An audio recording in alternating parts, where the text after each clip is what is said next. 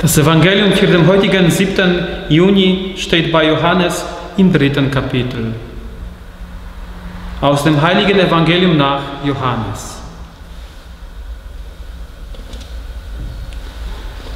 Gott hat die Welt so sehr geliebt, dass er seinen einzigen Sohn hingab, damit jeder, der an ihn glaubt, nicht verloren geht, sondern ewiges Leben hat.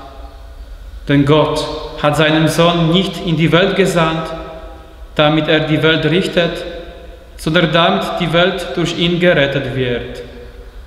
Wer an ihn glaubt, wird nicht gerichtet.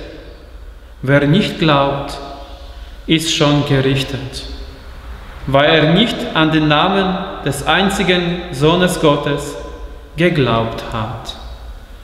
Evangelium unseres Herrn Jesus Christus.